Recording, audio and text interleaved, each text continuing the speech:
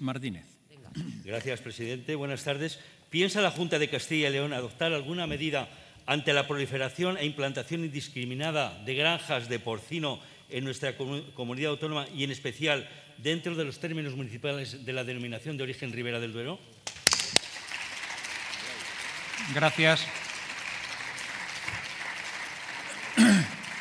Para contestar tiene la palabra el consejero de Agricultura, Ganadería y Desarrollo Rural, el señor Carnero García.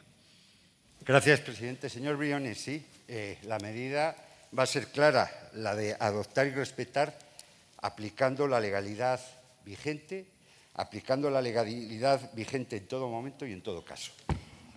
Gracias.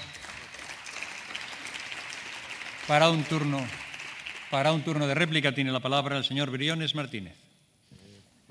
Gracias, presidente. Como no, podía esperar menos, ustedes a echar balones fuera una vez más.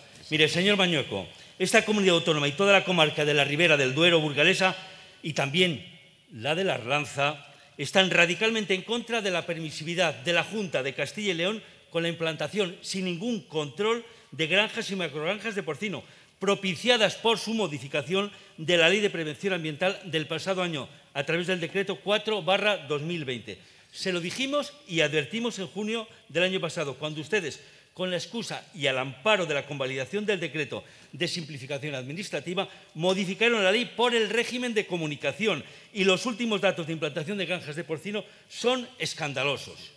En la comarca de la Ribera del Duero, a septiembre de este año existían más de 100.000 cerdos de cría y engorde, Hoy se encuentran a la puerta decenas de comunicaciones de nuevas explotaciones de porcino en muchas localidades. Aranda de Duero, Fuentemolinos, Villalba, Bien del Mercado, La Galera, todo dentro de la denominación de origen Ribera del Duero. Señor Mañueco, dé marcha atrás y modifique la ley antes de que sea demasiado tarde, pues el daño que este tipo de explotaciones está haciendo a la Ribera del Duero y al sector vitivinícola por la alta concentración de nitratos es incalculable y perjudicará a los viñedos y la uva de alta calidad que había alcanzado cotas de excelencia gracias a los controles y cuidados que se llevan a cabo en la ribera desde hace más de 40 años. La instalación indiscriminada de estas granjas no puede coexistir con las tradicionales y actuales bodegas y explotaciones vitivinícolas, ni su actividad es complementaria o compatible con estas.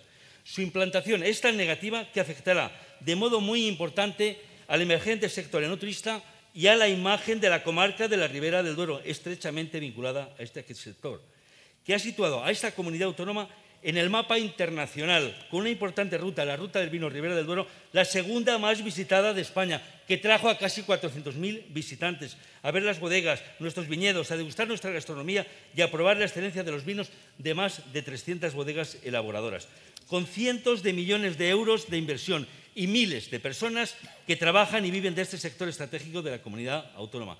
Señor Mañueco, los ayuntamientos, el Consejo Regulador de la Denominación de Origen esta mañana, las bodegas, los viticultores y el sector enoturista están en contra de estas granjas industriales de porcino.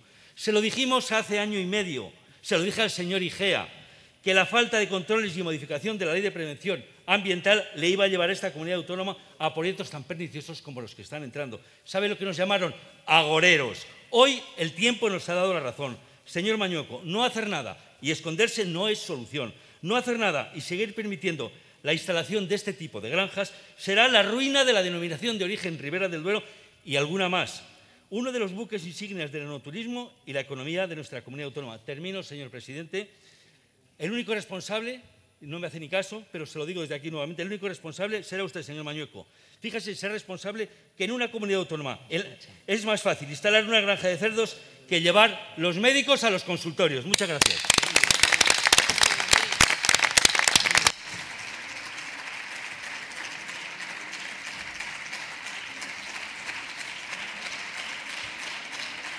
Gracias. Para un turno de dúplica,